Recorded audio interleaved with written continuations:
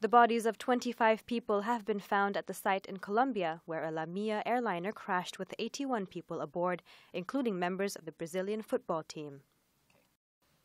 The aircraft was flying from Bolivia to Medellin, where it crashed in the mountainous area of Cerro Gordo, about 50 kilometers from the city.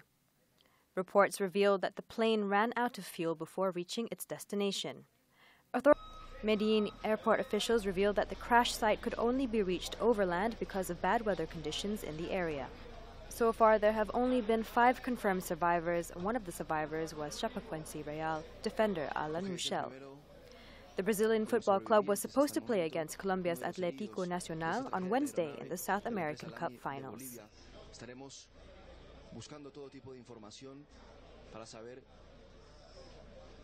Cuál fue el herido que acaba de llegar acá, si hacía parte de la delegación.